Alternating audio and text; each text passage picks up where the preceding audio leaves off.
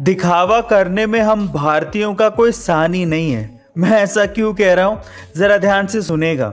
सबसे पहला, शीशे के सामने आईफोन से सेल्फी लेना, ताकि लोगों को ये पता लग सके कि हमारे पास आईफोन है। दूसरा फादर्स डे और मदर्स डे पर अपने माता पिता की तस्वीर हम लोग इस तरह से डालते हैं, जैसे माता पिता की सबसे आज्ञाकारी संतान हम ही हैं। तीसरा, हमारे पास महँगे होटल में खाने के लिए पैसे होते हैं, लेकिन सब्ज़ी वाले को बीस रुपए देने से भी हम लोग कतराते हैं और इसके लिए उनसे हम लोग बार्गेनिंग करते हैं। और चौथा और सबसे महत्वपूर्ण कारण, एक दिन की शादी के लिए हम लोग ज़िंदगी भर की कमाई शादियों में लगा देते हैं।